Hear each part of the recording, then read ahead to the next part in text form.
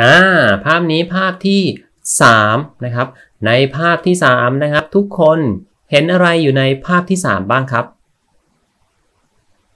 รู้จักไหมครับ นี่คืออะไรอ่านี่คือครก นี่คือครก เราใช้ครกในการตำตำนี่ ใช้สากในการตำ สิ่งที่ตำเราใช้มือจับแล้วก็ต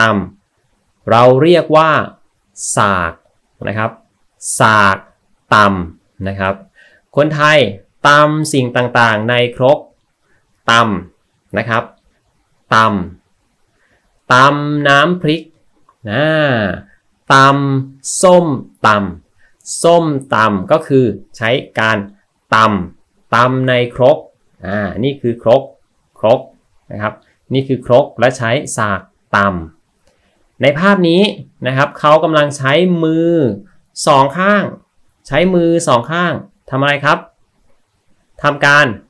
ยก ยกขึ้น ยกครก ยกครกขึ้นนะใช้มือสองข้าง ยกครกขึ้น ยกขึ้นนะที่ต้องใช้มือสองข้าง เพราะว่า ครกมีน้ำหนัก มาก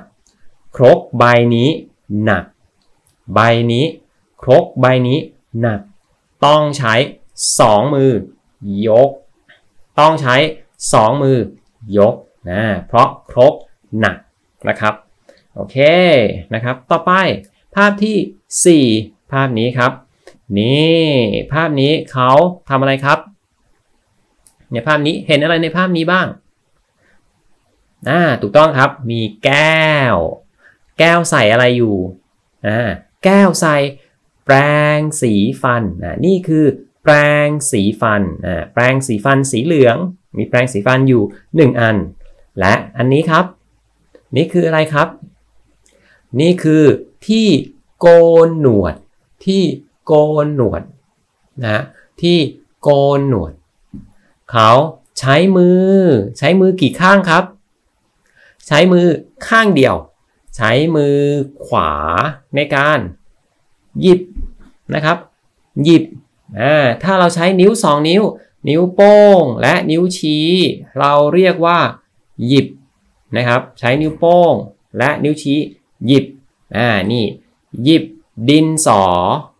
หยิบปากกาอ่าหยิบเมาส์ขึ้นมา ใช้นิ้ว 2 นิ้ว หยิบ หยิบขึ้น นะครับอ่าเขาใช้มือหยิบที่โกนหนวดอ่าใช้มือหยิบที่โกนหนวดขึ้นไป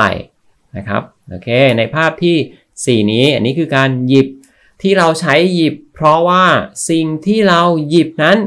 มีน้ำหนักเบา มีน้ำหนักเบา ใช้มือเดียว ใช้มือข้างเดียวก็หยิบขึ้นไปได้แล้วนะครับ หยิบได้แล้วเพราะมีน้ำหนักเบานะครับ แต่ภาพที่ 3 ภาพนี้ครบมีน้ำหนักมาก เราใช้มือเดียว หยิบไม่ได้ หยิบไม่ขึ้นมันหนักนะครับต้องใช้ 2 มือยก ใช้ 2 มือยกอ่าไม่ใช่หยิบอ่าถ้ามีน้ำหนักเบานะครับ แบบ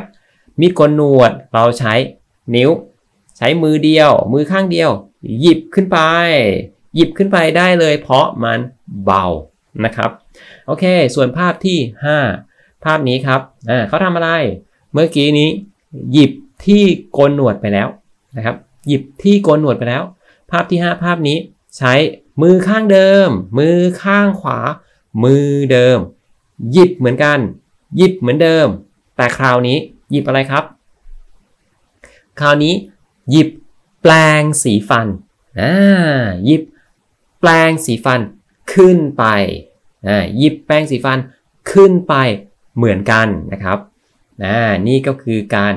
หยิบนะครับ หยิบเราใช้กับของที่เบาๆ ใช้นิ้ว 2 นิ้วหยิบนะครับ แต่ถ้าเป็นของหนักของหนักใช้ 2 มือ เราเรียกว่า ยกนะหรือใช้ทั้งมือ ทั้งมือจับสิ่งที่หนัก สิ่งที่หนักนะแก้วน้ำนี้หนัก เรายก เรายก โอเค แต่หลอดนี้ หลอดนี้เบา เราใช้นิ้วหยิบ หยิบ อ่า ใช้นิ้วหยิบเพราะมีน้ำหนักเบา แต่ใช้มือทั้งมือ ยก เพราะมีน้ำหนักมาก ใช้สองมือยก อ่า โอเค และนี่ก็คือการยกและหยิบนะครับ โอเค ขอบคุณครับ